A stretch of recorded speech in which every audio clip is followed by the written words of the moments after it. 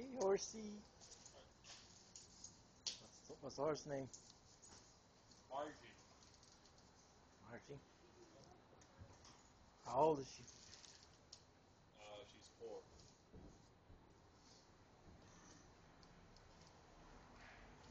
Yep. Hopefully it's going to last a long time. Hmm.